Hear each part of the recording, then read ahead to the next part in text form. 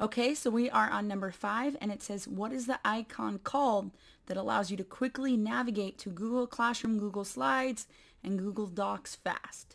So if you guys re remember, when you're on, actually there's right here, when you're on um, Google, you can see it right here off to the side on the right hand side.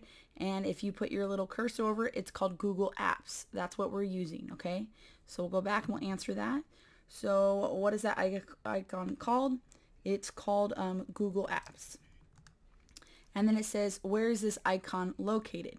So it's located in the top right hand corner on Google. So we're going to write that. So it is located in the top right hand corner of Google. Ah, there we go. All right.